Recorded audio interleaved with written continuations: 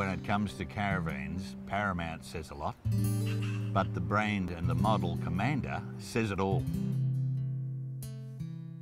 We have a threefold table in the in the Commander and um, cafe seating on either side of that. We've got a queen size bed and very, very comfortable. We also have a washing machine that's set into the bench. Um, very convenient. Top comes down at this part of the bench, but then when you want to use the washing machine, it's sitting there upright, fully functional.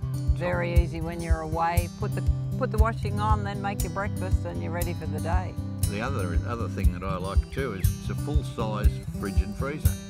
Yeah. Microwave, microwave above Microwave that. Microwave too. But uh, you know the full size fridge and freezer, and uh, that's a three way fridge.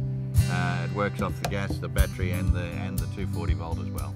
Paramount have replaced the oven with a lovely big drawer. So you get extra storage, you've still got three gas cookers and an electric hot plate and a full grill, but you just don't have that oven that probably you would use very rarely.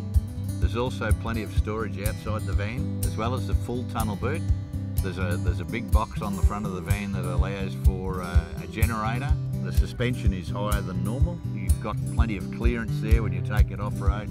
We're lucky in the fact that it's got the um, GNS chassis has come to, come equipped with the Dexter anti-sway control. We're just loving the Paramount Commander because it's just everything that we would want in a caravan.